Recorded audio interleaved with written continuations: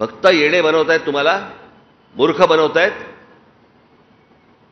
आपापलं सगळं ह्यांचं राजकारण सगळं सुरू आहे आणि महाराष्ट्राची फक्त माती होतीये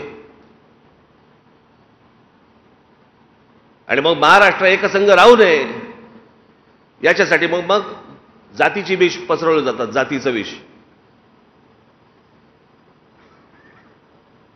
ते जरांगे पाटील ज्यावेळेला उपोषणाला बसले होते मी गेलो होतो तिकडे त्यांच्यासमोर सांगितलं हे होणार नाही.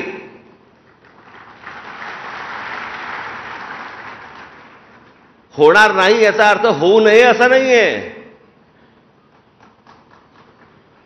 टेक्निकली हे होऊ शकत नाही.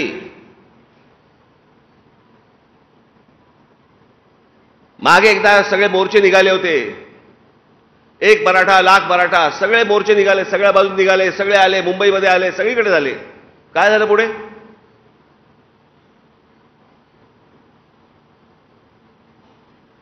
महाराष्ट्रामधल्या माझ्या मराठा बांधवांना भगिनींना माझी हीच विनंती आहे. यांच्या भूलतापांना बळी पडू नका. जे गोष्ट जी गोष्ट घडू शकत नाही होऊ शकत नाही याची हे आश्वासनं देत आहेत आज विषय आहे मुलांच्या नोकऱ्यांचा मुलांच्या शिक्षणाचा. महाराष्ट्रासारखं प्रगत राज्य शिक्षण देऊ शकत नाही नोकऱ्या देऊ शकत नाही बाहेरच्या राज्यांमधली लोक आम्ही पोचायची आणि आमच्याकडची लोक आंदोलनं करणार?